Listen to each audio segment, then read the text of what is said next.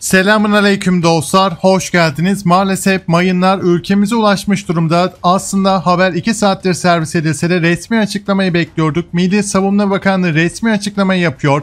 26 Mart 2022 tarihinde sabah saatlerinde İstanbul Boğazı açıklarında mayın benzeri cismin sivil ticari gemi tarafından tespit edilmesi üzerine olay mevkisine sualtı savunma timi yani kısaca SAS timinin intikal ettirildiği belirtiliyor. Bahse konu mayın benzeri cisim SAS timleri tarafından emniyete alınmış ve etkisiz hale getirilmek maksadıyla müdahaleye başlanmıştır. Yine dostlar Rusya Savunma Bakanlığı tarafından basın açıklaması yapılıyor. Onu da çevirdik. Kısaca dinleyelim.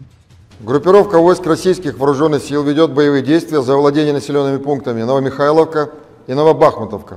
Наносит огневое поражение противнику в опорных пунктах и по его резерву.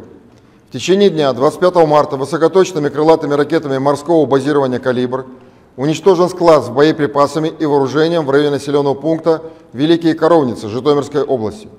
Также высокоточной крылатой ракетой «Оникс» уничтожена база горючего в районе Николаева, с которой осуществлялось снабжение топливом группировки ВСУ в южной части Украины. За сутки оперативно-тактической и армейской авиацией поражено 117 военных объектов Украины.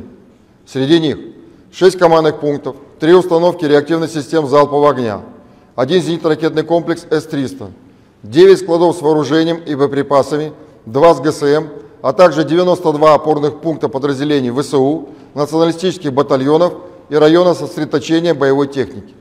Российскими средствами противовоздушной обороны сбиты в воздухе над населенным пунктом Вишневое три украинских самолета, два Су-25 и один Су-24, а также шесть беспилотных летательных аппаратов. Кроме того, уничтожена одна тактическая ракета комплекса «У» в районе населенного пункта Васильевка.